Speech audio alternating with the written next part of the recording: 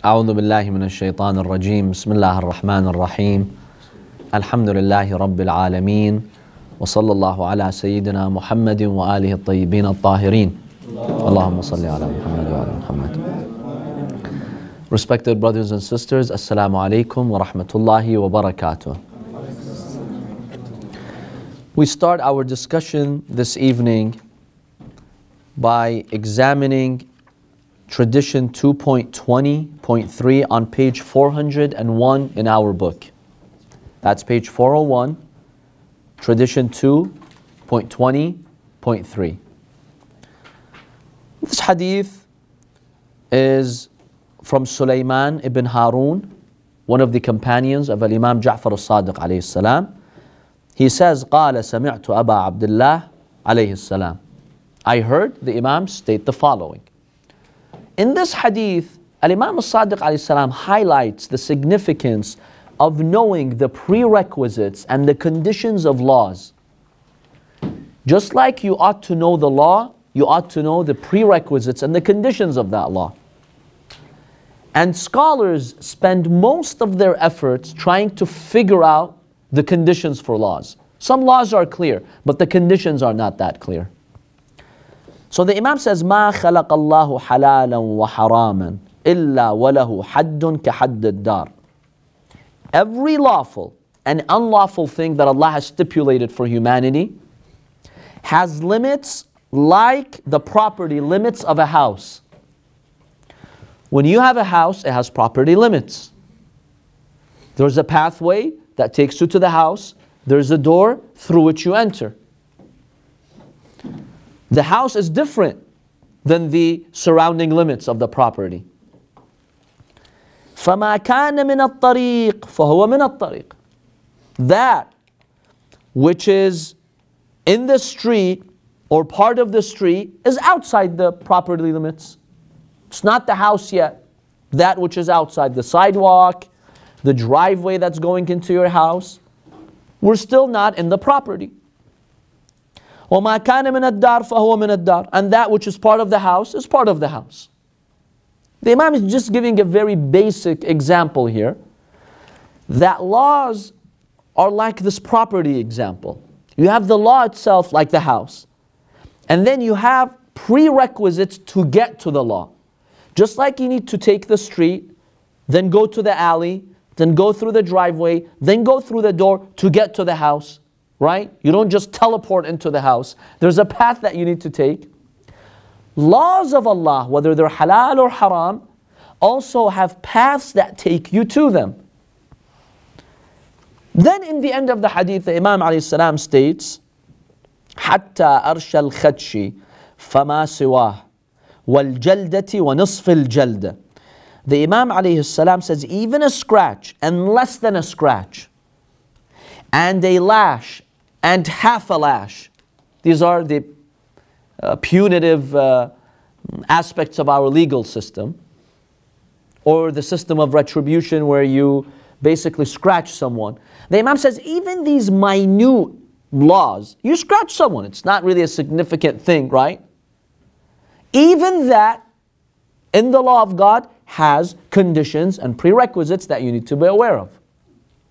So this hadith is highlighting the importance of knowing the terms and conditions of God's laws. This is something most people are not aware of. We know the law. We know Salatul Subuh is two rak'ahs. This is how you pray. We know that. But what are the conditions and prerequisites of the prayer, of the wudu, of the ghusl, of the clothing? We know that dealing with interest is haram, selling alcohol is haram. But when it comes to business, what are the prerequisites? What are the terms and conditions in God's law? Most people are not aware of that. The Imam says, we basically have to be aware of these conditions and limits in order to uphold the law and practice it. And many of these obligations have a lot of prerequisites and limits. For instance, one hadith states, Salah has 4,000 limits. Now, 4,000 is a combination of mustahab limits and wajib limits. 4,000 terms and conditions about Salah. that have been stated in the hadith. How much of these do I know? 10%, 5%, 1%?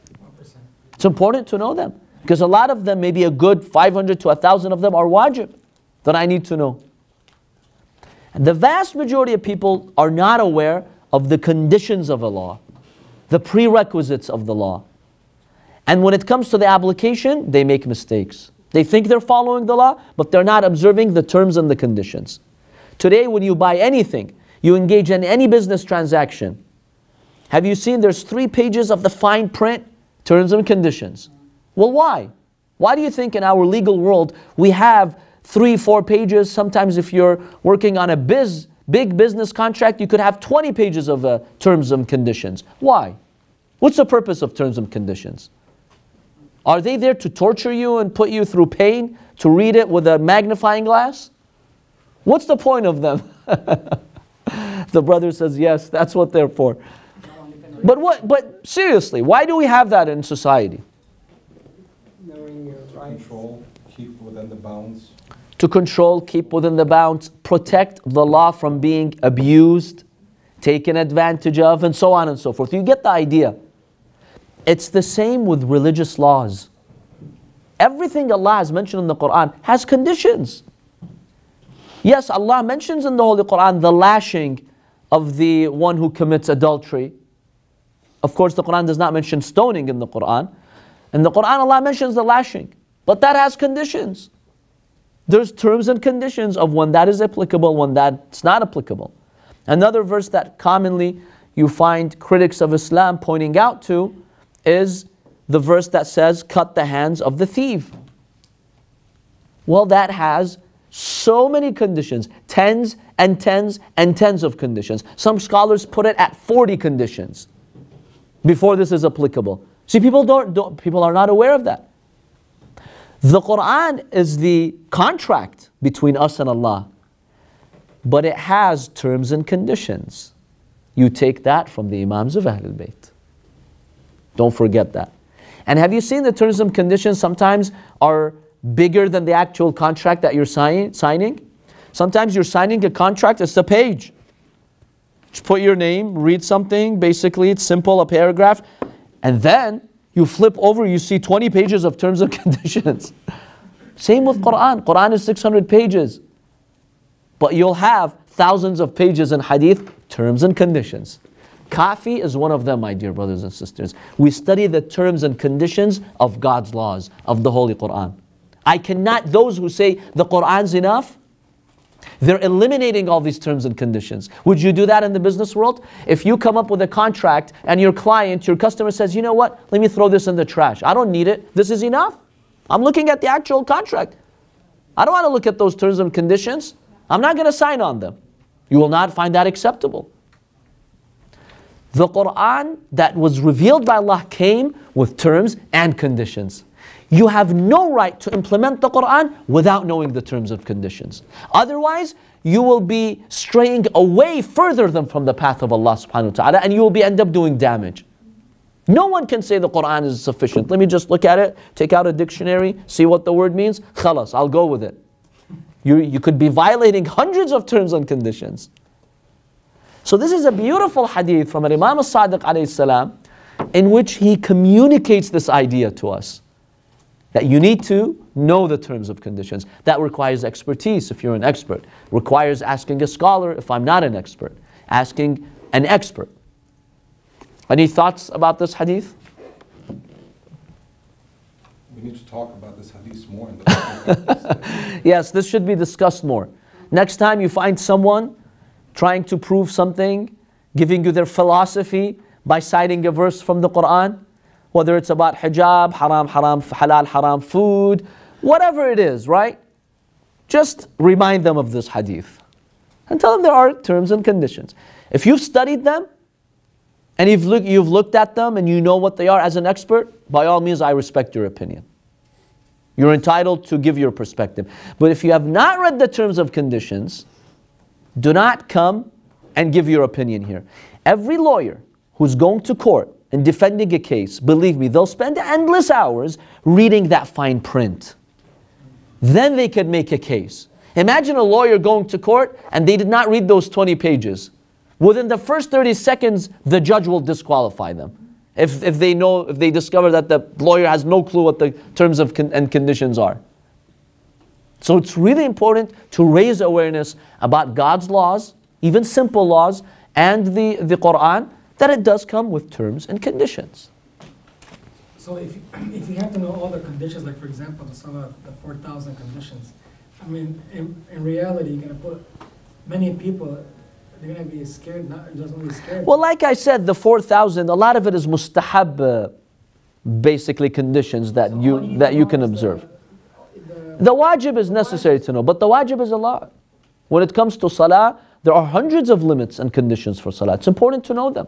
Doubts in prayer, how to pray, the conditions of wudu and the ghusl. Believe me, most people, every time, every time I do a prayer workshop, people who've been praying for years and years discover they're doing something wrong. That's simple, by the way, not something that you need to, you know, inspect it to figure out that it's wrong. They discover something is wrong that they just had missed. They, um, they thought they knew it, but they never actually studied it carefully, step by step. Is there a dedicated book out there, Sayyidna, where it actually talks about these four thousand conditions in layman's terms, or is it something that you have to just? In Arabic, we do. In English, unfortunately, we don't have something that discusses the 4,000, but we do have books that discuss the wajib at least. We do have, yes. In fact, my dear brothers and sisters, if you just take the book of rulings of your marja, if you just study it line by line, you're good to go, believe me. You don't need anything else. The main laws that you need to know are in there. And if you have any questions, confusion about any of those laws, ask someone. So you're not required to go through 16,000 pages of kafi to discover those terms of conditions. But I recommend you that you, you should though. It's good to go and learn knowledge and examine the actual words of the imams. But as long as you're taking those limits or conditions or prerequisites from a, an expert scholar, expert marja, that's fine. They've given to you all of that squeezed in one book. And basically, basically, most of what you need to know is in the book of rulings, the Risala Amaliyah. It's there. But I ask you the following question. If you were to do a poll or a survey, people in the community, if you were to poll 10,000 people who do consider themselves practicing Muslims, we're not talking about someone who's secular and doesn't believe in any of this. No, no. People who otherwise believe they are practicing. And if you ask them, have you ever sat down even in your own language, English, which now it's available in every language. Have you read line by line the book of rulings of your marja? What do you anticipate you will get in, in the responses and the results? One percent. 1%, maybe less. Let's say 1%. I tell you with confidence, more than 95% of the people have not actually done that. What's the excuse? You don't understand Arabic? Habibi, it's available in English. You want Urdu, it's in Urdu. You want French, you want Japanese, you want Chinese, it's available these days. Maybe there was some era it was not. Today everything is available. But we still have not made that effort. Why? Like if Allah really asked me on the day of judgment, what's my excuse? What, what is my excuse? I was busy. Is there something more important than my religious commitments to Allah? Is there something really more important? I'm willing to sit for three hours and watch a movie. I'm willing to play five hours of sports. How long do you think it takes to read the book of rulings? Takes 10 years? No. You dedicate your weekends. Believe me, within a few months you'll be done with it. Study it line by line. It's as simple as that. But we haven't done that. And that's problematic. The Imam says, look, there are limits. Know them. There's no excuse for not knowing. Yes. Doesn't taking classes like Islamic law fulfills the same? uh, Of course, I'm, sa- I'm saying as an easy example. Now, somebody could say, well, I don't have access to Islamic laws.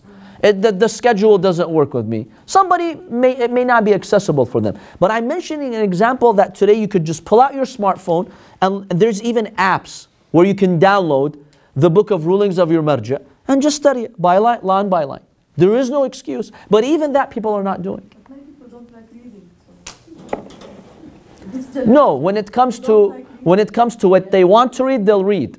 Harry Potter showed us how kids even are willing to read seven volumes. if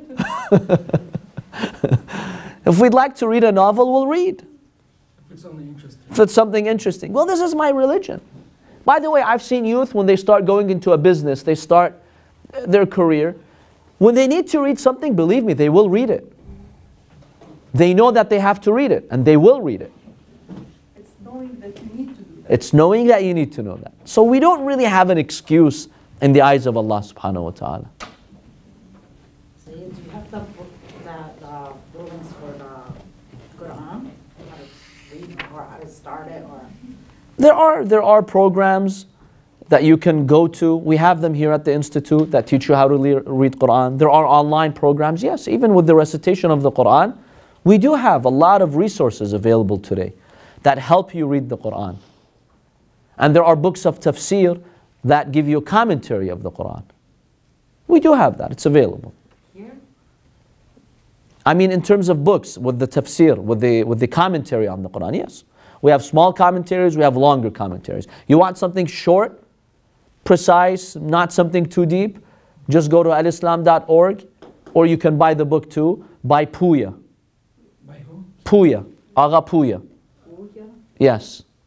It's the commentary of Pooya. That's his last name. P O O Y A.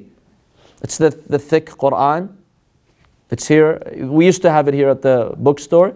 You can even buy it from Amazon, but it's available for free on alislam.org. Translation? Yeah, it's, it's, it's not a translation. The translation is available. It's a commentary. Like a paragraph that tells that gives you some context. What is the verse talking about? When was it revealed? Yes. That's something that allows you to know the Quran. It's there, but most people are not probably using such resources. So really, there is not uh, an excuse. Let's now go to this following hadith, which is on page 417, tradition 2.20.7. So you go to Google, I'm sorry. You Google Islam.org. this, this, If you go to alislam.org, if you, if you type the following, Quran, Q-U-R-A-N, dot L dash Islam.org, you will go to a page where you can search. You choose the surah and the verses. And then there are four boxes to check. Uh, Shakir's translation, Yusuf Ali's translation. These are translations. And then the last one is Pooya's commentary. It just gives you the commentary of that verse. Very simple. From your fr- smartphone, you can read it. It's easily accessible. So this hadith is from Harun ibn Muslim and Mas'ada ibn Sadaqa from Al-Imam Abi Abdullah alayhi salam. In this hadith, Imam Sadiq alayhi salam says, قال أمير المؤمنين alayhi salam. Imam Ali ibn Abi Talib said the following. And it's a very beautiful hadith. I highly recommend you to read it until page 419. And the Imam is beautifully describing how Allah sent the Prophet as a source of guidance after long periods of ignorance. Since the days of Prophet Isa, for like 500 years, there was no universal messenger. Confusion happened, people started deviating and corrupting, and then this beacon of light emerges and brings us the religion of Islam. So the way the Imam describes it is just beautiful. I would like you to read it. So page 417, 418, when you have time, study the words of Imam Ali alayhi salam. Beautiful description of Islam and the Prophet, and it allows you to appreciate how the Prophet was a source of guidance. But the part in this hadith that I would like to discuss with you is on page 419, the last paragraph of the hadith. So the Imam alayhi salam says, فَجَاءَهُمْ بِنُسْخَةِ مَا فِي الصُّحُفِ الْأُولَى The Messenger of Allah, the Prophet sallallahu alaihi wasallam, he brought to humanity a verified copy of what was in the early scriptures. Remember, the Quran builds on early scriptures. It does not negate them, it completes them. So the Quran confirms the truth that Allah had rever- revealed in earlier scriptures. وَتَصْدِيقِ الَّذِي بَيْنَ يَدَيْهِ And a confirmation of the s- scripture that preceded it. وَتَفْصِيلِ الْحَلَالِ من ريب الحرام and an exposition that distinguishes what is lawful from what is unlawful and unsettling. The Quran gives us the guidelines for that which is lawful and unlawful. ذلك القرآن Imam Ali alayhi salam says that is the Quran. He's describing the Quran in these few passages. Then the Imam says something interesting. فاستنطقوا فاستنطقوه Ask the Quran to speak to you. So bid it to speak to you. Here we have the Quran. Imam Ali alayhi says, command the Quran, request the Quran, bid the Quran to speak to you. In Arabic, the word nataqa means what? Speak. Nataqa yantuku. Now, once, whenever you put a word in Arabic in istif'al format, it means you're seeking it. Alima means he knew. Ista'lama means what? What? He asked to know. That's the meaning of ista'lama. Uh, means to save. Istanqadha means what? Requesting to save. Nataqa, speak. Istantaqa, asking someone to talk to you. Asking someone to speak to you. Imam Ali alayhi says, look at the Quran. Ask it to speak to you. Can it? Really? It can? Can you show me how? well, these days you have uh, interesting devices. Have you seen the talking Quran? You put the pen on the verse and it reads for you. So these days maybe the Quran can speak, but not in the past. Really, if you tell this book to speak to you, is it going to speak to you? Is it? The Imam says, فَاسْتَنْطِقُوهُ وَلَن يَنْطِقَ لَكُمْ Ask it to speak, but it'll never speak to you. What is the Imam trying to say here? Read the next two words. أخبركم عن. I will let you know about the Quran. The Quran is a book of guidance. It has the main principles. But the Holy Quran is not a book that you can open it and say, Oh Allah, you said this verse. What's the context of it? What is the deeper meaning? Explain it to me. The Quran does not explain itself. The Quran does not explain itself to you. So the Imam says, then what's the alternative? The Imam says, ask me, I'll tell you about the Quran. Because Allah chose us, the Ahlul Bayt, to carry His knowledge. وَمَا يَعْلَمُ تَأْوِيلَهُ إِلَّا اللَّهُ وَالرَّاسِخُونَ فِي الْعِلْمِ Only Allah and those firm in knowledge, pegged in knowledge, they know the deeper meanings of the Quran. They can explain the Quran. And this is a clear instruction from Imam Ali alayhi salam that you need the Ahlul Bayt as the educators to tell you about the Quran and the meanings of the Quran and the explanation of the Quran. You can't just pick up the Quran and say, no, hasbuna kitab Allah, it's enough. The Quran does not speak to you. In other words, it will not explain itself to you. So beautiful words from the Imam alayhi salam. Then he says, في إن فيه علم ما مضى وعلم ما يأتي إلى يوم القيامة. All that has happened in history is contained in the Quran, and everything that is come in the future is in the Quran. We mentioned earlier in one of the classes how that is the case. How is all the ilm embedded in the Quran? If you remember, we talked about that. وحكم ما بينكم وبيان ما أصبحتم فيه تختلفون. All the laws that are applicable to you, all you Muslims, everything you're disputing and arguing about, all of that is mentioned in the Quran. The answer to it is in the Quran. However, فَلَوْ سَأَلْتُمُونِ عَنْهُ لَعَلَّمْتُكُمْ If you were to ask me about it, I would teach you. سَلُونِي قَبْلَ أَن تَفْقِدُونِي Ask me before you lose me.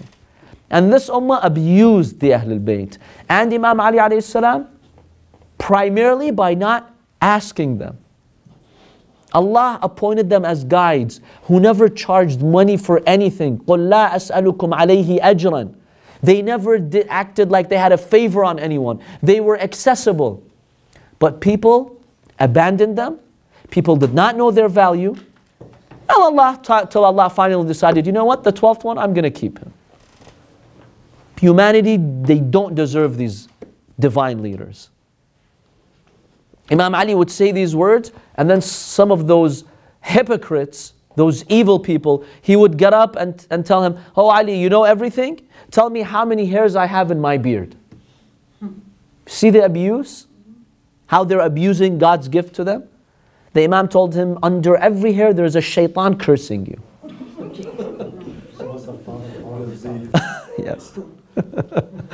that was the best answer, the most intelligent answer any human being can give. What else are you going to tell such a person? And literally, you have to be that evil, of course, to challenge Imam Ali. Under every strand of hair, there is a shaitan cursing you. Shaving tomorrow. You're shaving tomorrow. Another shaitan might curse you for shaving if you follow a marja who says you have to. so be careful. Question, Sayyidina, I mean, uh, the evidence is here in these ahadiths, but uh, do you find that there's an increasing number of folks now out there who are promoting the fact that, you know, you can't really rely on these narrations altogether, and it seems like the audience is increasing, where they just want to boycott narrations altogether? We do see an effort in our modern day world to underestimate hadith, marginalize it to an extent, and just focus on Quran. Well, give me the evidence from the Quran. Let's talk about the Quran.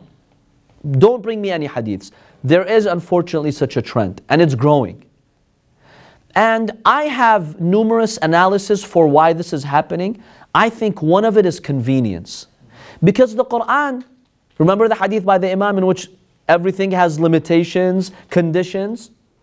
Well, the Quran doesn't lay out a lot of the conditions explicitly. So it's easy to go with the Quran, it's convenient because it doesn't lay out all these conditions. Whereas when you go to the hadith, that's your trial. Do you really want to worship Allah the way He wants? Yes, you have to be committed. An easy way to disregard all of those divine conditions is to say, no, no, no, I'm, I'm just, I'm happy with the Quran. I don't need anything else. That is another way of saying, I want the easy way out. I want less conditions, less terms and conditions, less limitations. That's very selfish. Because they know the Quran doesn't mention a lot of specifics. And believe me, you will see the day when millions of Muslims, even the Salah, they were interpreted according to their whims, and they will tell you the Quran just says pray. And prayer means just in your heart connect with Allah. You don't have to stand and do wudu and do ruku and sujood. None of that is necessary. And the Quran doesn't mention a lot of those acts. The Quran doesn't mention the specifics of salah. That day is coming. I'm already hearing people making these statements, unfortunately. It's, it's convenience. That's one reason. Another reason is there are people who genuinely have not understood the role of hadith and why we need hadith. These examples that we're mentioning in this class, they're not really aware of that. If they were to hear this, if more awareness was to be given to them, they would give more importance to hadith.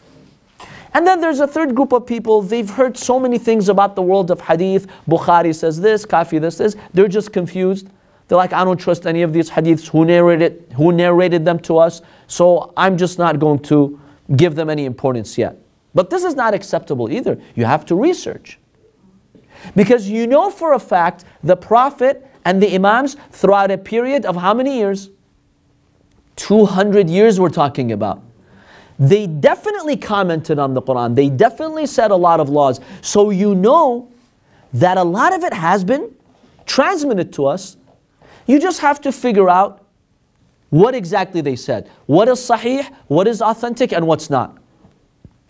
So either go and become an expert and research yourself and you'll find out, or rely on an expert. You can't just say, I disqualify all of that. That's not fair. Because you know the Prophet gave us more commands than the Quran. You know that for sure. What do you think he was doing day and night, giving sermons? He only spoke to the people of that time? Rasulullah is only for that era? He's not for me? People who eliminate the hadith, in essence, they're saying Rasulullah is not for me. I don't need him. He was only for that era. Because I'm not taking any of his words. The Quran is not Rasulullah's. Quran is the word of Allah. Not a word from Rasulullah is in the Quran. Not a word. And every Muslim, you have to be Muslim to believe that. The Quran is not the word of the Prophet. The Quran is the actual word of God. The Prophet was just a messenger. So if you say, I'm going to close the world of hadith, that means the Prophet is not my Prophet. I don't care about what he said. He was limited to that era, some Arabs who were around him, khalas, that's it. Same with the Imams of Ahlul Bayt, 200 years just for those people. Is that what we believe about our leaders? They were confined to that era? Or they were universal leaders? See, eliminating the world of hadith has all of these ramifications. Are we aware of that or no? It's really important to know these ramifications and consequences. But it's growing. I agree with you. This uh, effort to kind of marginalize hadith altogether is growing and growing. And what really troubles me is that some intellectuals in universities and even even in seminaries today are gaining prominence. They're bringing these ideas, they're very appealing to the public, so the public is supporting them. The public is waiting by the minute for somebody to pop out of the hawza, the seminary, and say and give you an easy way out for them to immediately support them. And remember, the hawza has over 100,000 people. Are you going to expect that every one of them is going to be on the right path? Every one of them is really committed to the path of Ahlul Bayt? Every one of them is getting it right? Of course not. Who said they're infallible? Yes, the vast majority of them are sticking to the main guidelines, but there are a lot of people who are inserting their opinions, who are coming up with their own methods. And the global population today is supporting them because they like that type of mentality. That's easy. That's a dilemma. I'm very, I'm, I'm very honest with you. That is a dilemma that we're having. Some of, some of these people who are saying this, they're educated in hawza. Just be, be, see, being educated in the seminary does not guarantee you're going to be 100% upright. Look at the Quran and the hadiths speaking about scholars who sometimes take another path. That's important as well. Sayyidina, just analyzing from a logical perspective, where some documented facts and history in terms of what uh, three personalities did back then by trying to burn as many narrations as possible and telling the people to just focus on the Quran. And as time passed by, they noticed that, you know, it, it wasn't enough what they burned.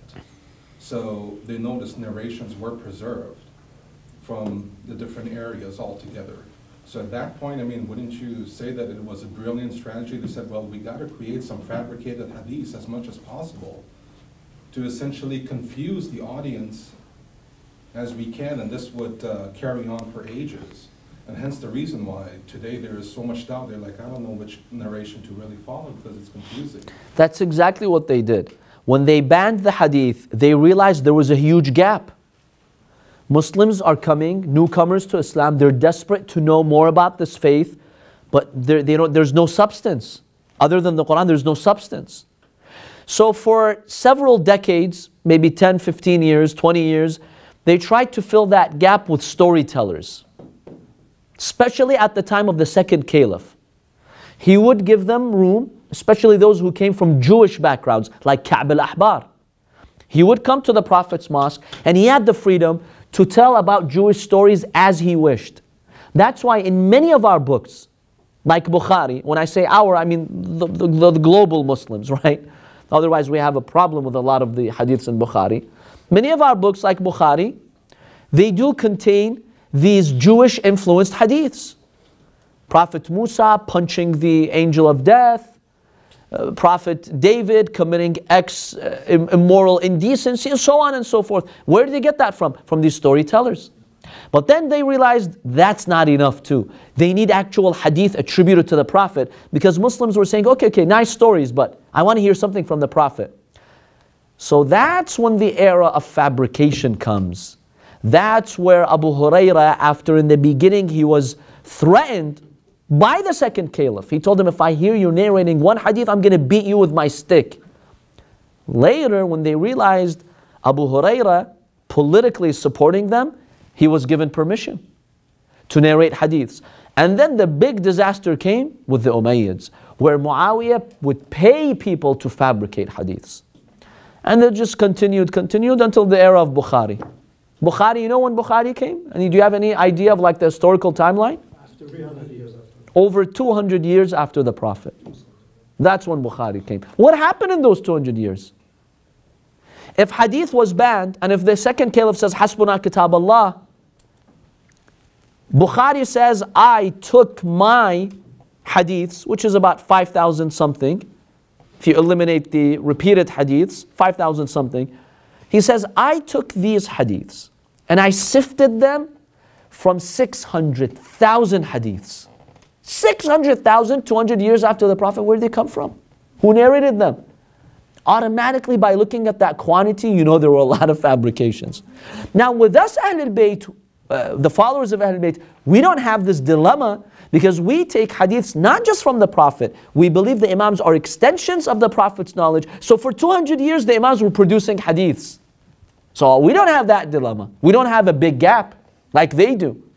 They have a gap because they're trying to trace every hadith to the Prophet. And you cannot with this 100 year ban on hadith and all the fabrications.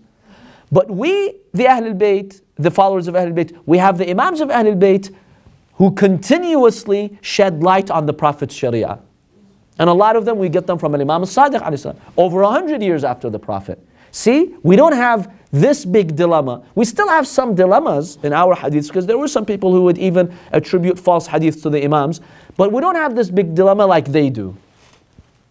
Because we don't have a 200 year gap. But these facts that you just mentioned, Sayyidina, I mean, these are pretty well documented facts in terms of what has happened historically. Wouldn't this suffice to convince this increasing audience today that are going against narration? This increasing audience, based on my experiencing, uh, they're not having these discussions academically, objectively. They're not. They hear something, they form opinions, and then they go. We're talking about the public, the general public. As for those in the seminary who might have uh, some of these opinions, basically, they are aware of, of, of all this discussion. But then they'll go back to uh, issues like I can't trust those early scholars. Kulayni and his understanding of hadith, Tusi and his fiqh, I can't trust them. They were fallible people who committed mistakes. So I just will go to the Quran. It's the only source that has no mistakes. This is the idea they're pushing for, unfortunately. It doesn't stand when, they, when, when you put them with the other top scholars who bring forth their arguments. They really don't have an argument against that, but they insist on this opinion that I don't trust those scholars. So as far as those other Because their ideas, I don't trust anyone. That's like their philosophy. I don't trust anyone.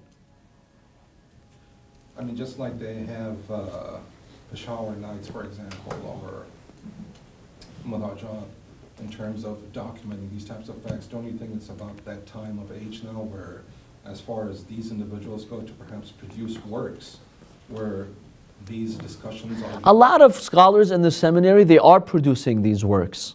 But one thing I found is they don't have a voice. Those others, they might have easier access to media because the media likes controversy. See, right now, I can sit the entire year and teach you something that's not controversial, right? It's not going to get that much attention or the lectures that we give. But if one day I go on the pulpit and I throw a bomb, as they say, the next day, see the views it will generate on YouTube. Tomorrow, if I go on the pulpit, I'm being very honest with you, and I just say, I've done research and I've come to the point where hijab is not wajib. And this is my proof, verse, hadith, whatever, I just fabricate stuff. Next week, you'll have millions of views for that clip. You tell me why. Why does the world work that way? That's what they want to hear. You get the idea? So there is a lot of research being produced, but they don't really have this media or the voice to convey that to the public. Or they still have not figured out maybe some, salamu alaikum, some efficient or effective ways. Whereas people of controversy, immediately the spotlight is on them. And then everything they say after that, everyone hears it. That's the dilemma. That's the dilemma. It's just as simple as that. it's sad, but that's the reality. It's easy to become infamous. One word will make you infamous. So, this is a very interesting and important hadith in the book of Kafi.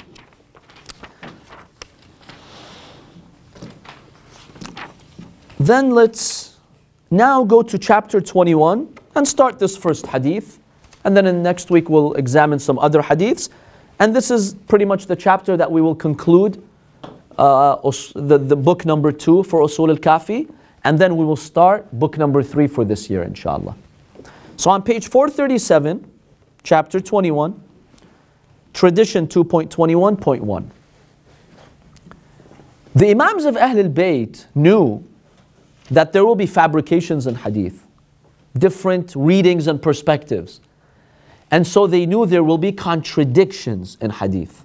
They knew that. How did they address that? We have an entire chapter in the book of Kafi that tell us how to deal with fabrications, how to deal with discrepancies. I get two hadiths with a solid chain, by the way, to the same imam or two imams, and these hadiths contradict one another. What do I do? The Imams of Ahlul Bayt have laid down the groundwork for that and the pathway and the method to resolve the contradiction. Very beautiful system by the Ahlul Bayt. Subhanallah, they are guides for everything. I have no excuse on the day of judgment to say, Well, God, I saw conflicting hadith, so I lost faith in the whole system. Allah says, Well, did you read what the Imam said? By the way, I forgot to mention one point from the previous discussion. Some could say this is circular reasoning because you're using these hadiths, which are in question themselves, to prove what the Imam said about hadiths that are questionable. you get the idea? It's circular reasoning. See, going back to that first point, that you need hadith, and it does not suffice just to look at the Quran. If I had one hadith, two, three, four, five, six, ten, you could say, okay, these narrators conspired, they fabricated these hadiths to say you need hadith and Quran is not sufficient. You could make that argument. And so you say, I don't trust this hadith. But if you have hundreds of hadiths from Imam Ali to Al Imam al Askari throughout a period of 200 years, from different backgrounds, different narrators who did not even know one another, and they're narrating hundreds of hadiths from the Ahlul Bayt that hadith is important, our words are important. Quran is not sufficient for you to come up with laws. Have, for those of you who took the science of hadith two years ago, we examined tawatur, a mutawatir hadith that is successive in its report, such that it generates yaqeen and certainty that this happened. Like the event of Ghadir. The event of Ghadir, even Sunni scholars say, it happened. Now they have a different interpretation as to what, what Mawla means, but the fact that the Prophet got up and said that, this is not that this is not something anybody could dispute and say, well, I wasn't there, show me footage of that.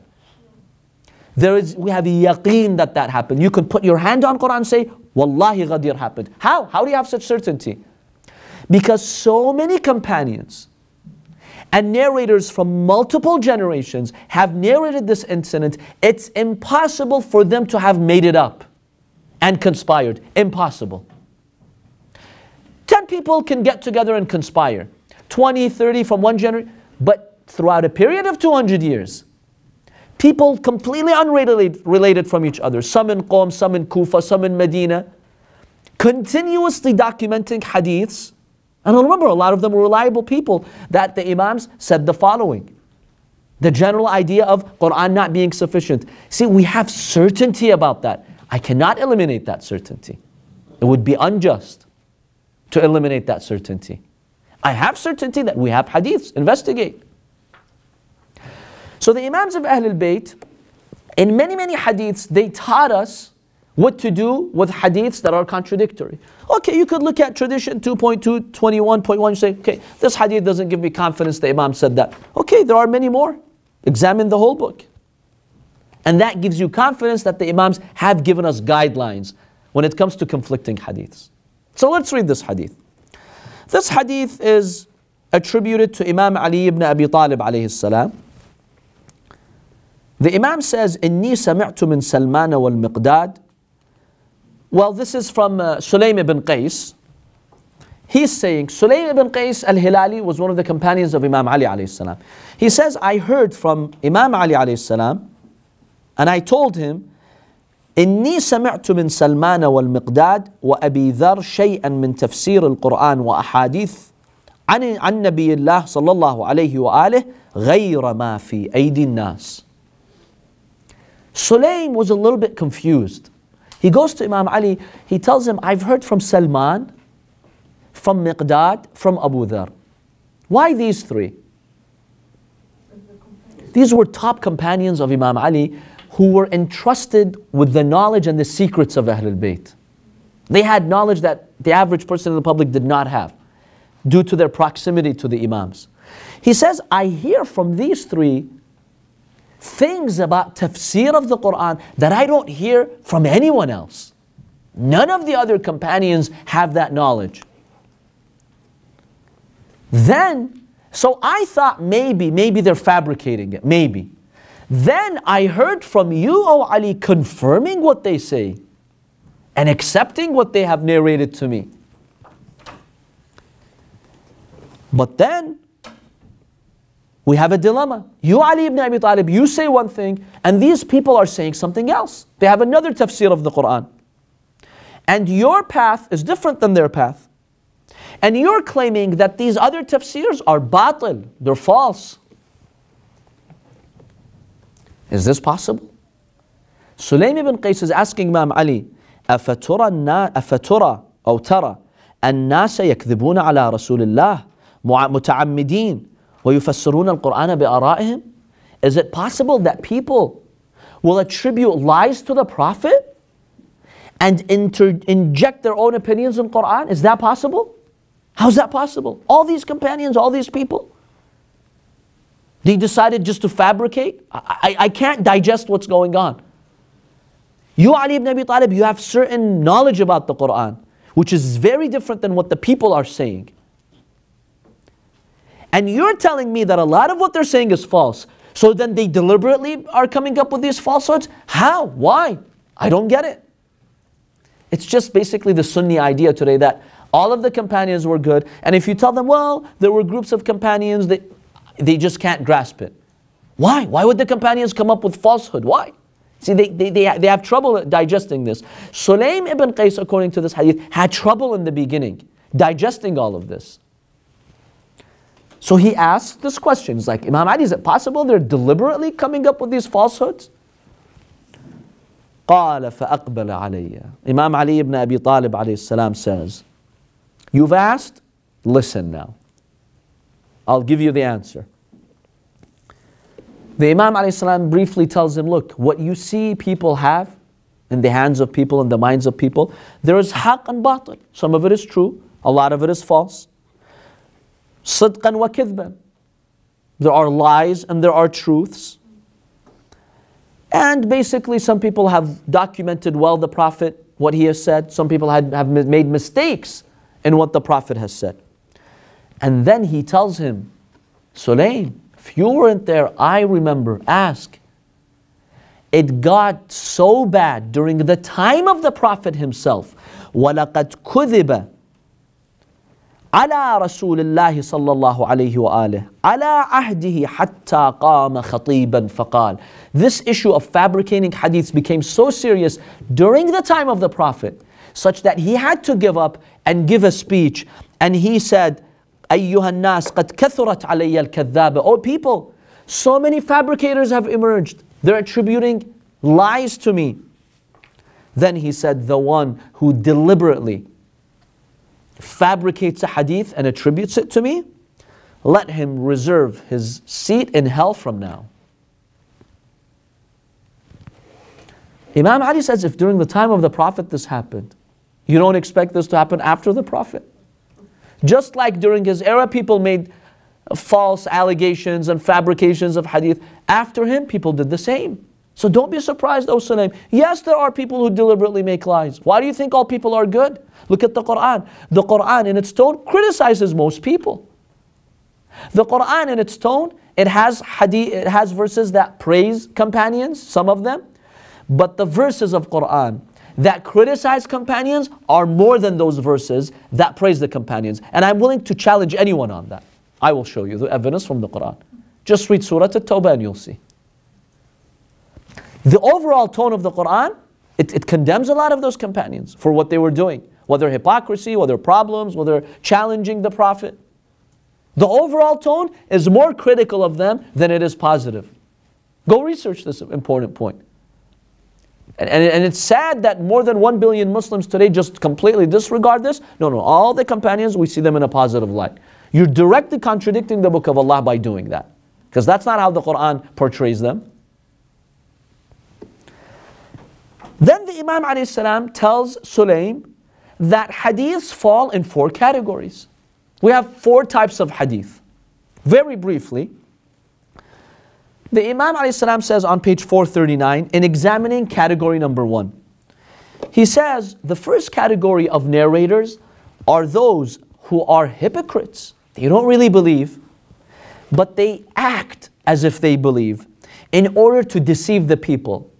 These people have no piety, no righteousness. They will fabricate lies as much as they wanted. And the Quran confirms there were such hypocrites who knew no limits. So, yes, there were people like that. Then Imam Ali says if today the people, the general public, if they knew, if they just had awareness that this person was lying and fabricating, they would not accept their lying, lies and fabrications. But people have been deceived. People have been deceived. They think, oh, this person, out of goodwill, he said what he said, when he was actually lying and he was faking his Islam. If people knew he was really a hypocrite, they would not accept. So the Imam alayhi salam in this hadith is mentioning that there are some companions who saw the Prophet and they knew how to speak very well, by the way. They can captivate. By the way, one problem that we have today, which beautifully Imam Ali alayhi addresses this, and the beauty of the book of Kafi is that every scenario we have today, you'll find the hadith addressing it. Today, you find some people who know how to speak well. They're good, articulate speakers. They're motivational. They're powerful in their speech. And a lot of people, when they hear that, are like, wow, the fact that this person spoke so eloquently means he's right. My dear brothers and sisters, there is no correlation between eloquence and truth. You could be the biggest fabricator, the biggest hypocrite, and you can speak well. Where does Allah mention in, this, in the Holy Quran? Imam Ali says, look at this, subhanAllah. The Imam, the Imam says, Allah exposed them in the Quran and describes them. When Allah says, وَإِذَا رَأَيْتَهُمْ تُعْجِبُكَ أَجْسَامُهُمْ وَإِن يَقُولُوا تَسْمَعْ لِقَوْلِهِمْ Allah says, when you look at them, you're fascinated by their outward appear- appearance. They're mesmerizing. In fact, they might have charisma. They're charismatic. And their words are so eloquent and powerful, you just accept it. Like, wow, just listen to this person. There were hypocrites in Medina who were like that. Abdullah ibn Ubay, the leader of the uh, hypocrites in Medina, he was known to be very charismatic and, oh boy, he knew how to speak. He was very articulate in his speech. And he would gather momentum. People would hear his speech, they're moved by it. Being moved by a speech, my dear brothers and sisters, just because the speaker is eloquent, knows how to talk, is not an indication that he's saying the truth. He could be, he could be playing with your mind. And this is a problem that we have in this era. If I see a speaker who knows how to speak, automatically, yeah, the person knows exactly what he's saying. He, gives, he brings me one verse of the Quran in a very articulate way. He gives me his opinion, filling it with falsehoods, inaccuracies, and I accept it just because he knows how to speak well. Beware of that, my dear brothers and sisters. Gauge the speaker based on the content, on the truth, the standard that they're going by. Are they going by the Quranic standard, by the Ahlul Bayt standard, or not? That's what you should be looking for. So, the Imam says one reason why people were duped, they were fooled, deceived, is because these fabricators knew how to speak.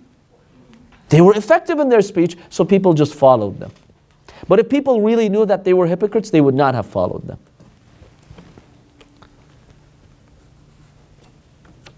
So, this is the first category of fabricators. Any question about this first category? The second category, he says there is someone, a, a companion, who heard this from the Prophet. He did not intend to lie, but he didn't understand what the Prophet said. He mistook the Prophet's words. He didn't get it properly. Because he didn't hear well, or he had weak memory, and after a while you tend to forget. So he started adding things not deliberately, but because out of for- forgetfulness. And if people knew that this person is not sharp in his memory and is not being accurate in his transmission, they would not have accepted it. So the people say, well, he was a good companion. Yes, he may have been a good companion, but remember, he did not have sharp memory. He was inaccurate. Not because he was deliberate, but because that's how he was. That's another reason why we have fabrications or inaccuracies in hadith. The Imam is now explaining the problem here. In later hadiths next week, we'll examine how to know which hadith is fabricated or not.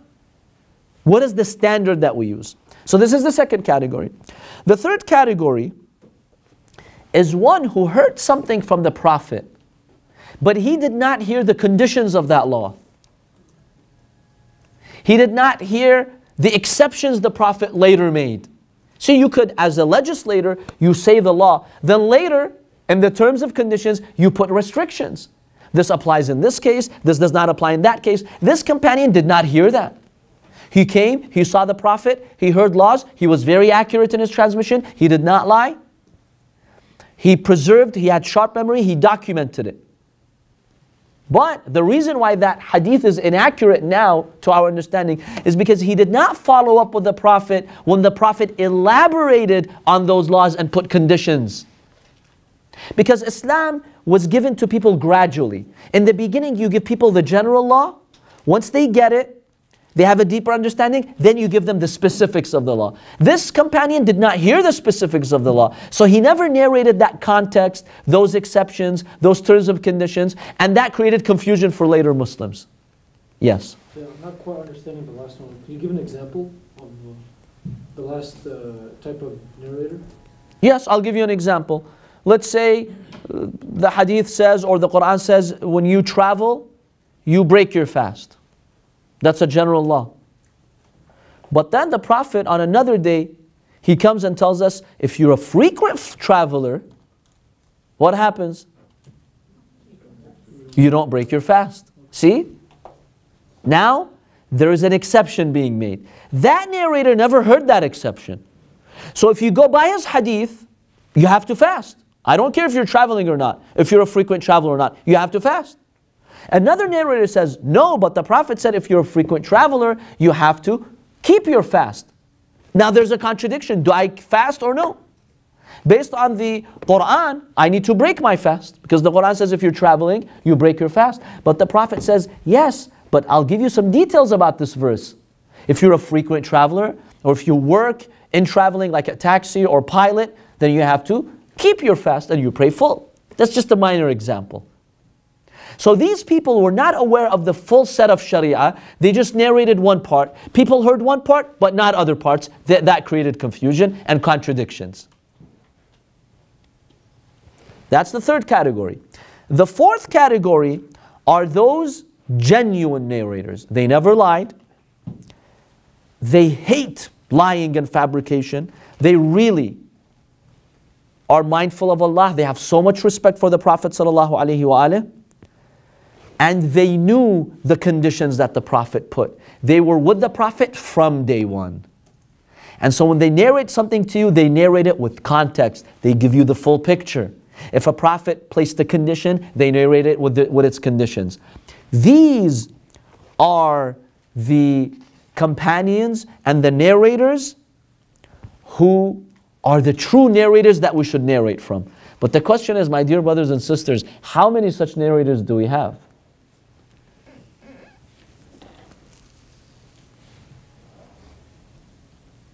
How many? Those who say, you know what, I don't need to go to Ahlul Bayt. Khalas, the Prophet is enough. Even some Shias are saying it today. Yeah, the Prophet will, the argument is the Prophet is not going to leave with an incomplete religion. When the Prophet left, he explained everything. Why do I need the Imams for? Okay. My response to them, okay, fine. You want to take everything from the Prophet? Okay. Who's going to narrate to you everything the Prophet said in 23 years, knowing all the conditions that he laid out, all the explanations, all the exceptions that he made. Who has that type of knowledge? Imam Ali. Can you bring me someone other than him who knows all of that? Yes, maybe you could argue some of those very, very early companions who were with the Prophet all the time. Abu Dhar, he came early on. He knows a lot. We trust him. But how many companions do you have like that? Handful? So what do you do? You cannot know what the Prophet really said and what he elaborated and what he stipulated unless you go through the Imams of Ahlul Bayt. Because the Prophet said, After me, Ali, I gave him all the knowledge. You take it from Imam Ali and the descendants of Imam Ali. This is another proof from Imam Ali السلام, that you need the hadith of Ahlul Bayt. And you cannot say, no, the hadith of the Prophet or the Quran is enough. You have to know the conditions. So the narrators, some of them were truthful. We're not doubting their truth, but they don't know everything that the Prophet said and all the conditions that he stipulated. Therefore, I can't just rely on their hadith. I need a holistic view of hadith. You can only get it through the Imams of Ahlul Bayt. They give you a holistic understanding of hadith. And that's what, what Maraja do, my dear brothers and sisters. They spent 50 years trying to holistically understand Islam for us. And they do that work on your behalf. That's what they're doing. Any questions? Objections? Comments? So it's growing. And my dear brothers and sisters, it is my hope that you generation, who are your being, Allah has given you the opportunity to examine texts like these, to know the, the, the school of Ahlul Bayt. It's your obligation in the near future to stand up to the plate and show the knowledge to the people. In your gatherings, in your programs, when you hear these kinds of ideas, it's your obligation. Go on social media, go on YouTube, you see these perspectives flying, do something about it. Present the other side, be active, it's your obligation. Remember, it's not just the obligation of a traditional scholar. We mentioned in the book of knowledge last year that anybody who has any ilm, any knowledge, it's their obligations to show their knowledge when there's controversy, when there's confusion, when there are doubts. So it is my hope that we all take this and we defend the school of Ahlul Bayt in the face of all these controversies. And they're growing and they're getting more and more challenging. So it's important that we know this. وصلى الله على سيدنا محمد وآله الطاهرين اللهم صل على